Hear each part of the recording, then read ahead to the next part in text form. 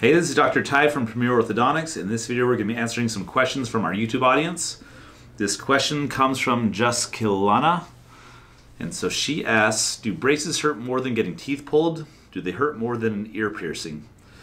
So braces um, do have some discomfort involved with them.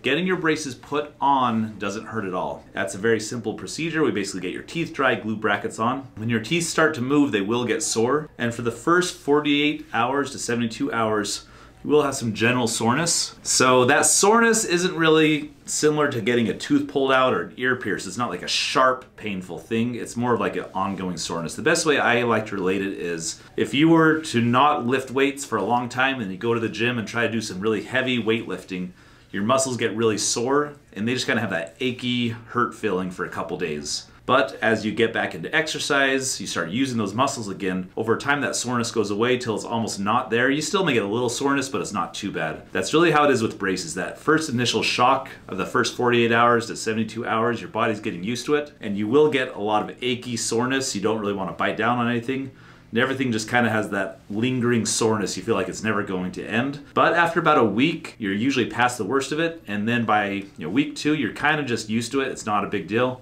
You don't really have that same soreness. It's not really the same as getting an ear pierced, where you just have like a really sharp pain that's instant and goes away. Same thing with getting a tooth pulled. You know, you get that painful experience, then it's gone. With braces, it's more of like a low level achiness for a couple days, but after that time, you usually get used to it and get through it. So hopefully that helps. If you have any questions, ask them in the comment section below.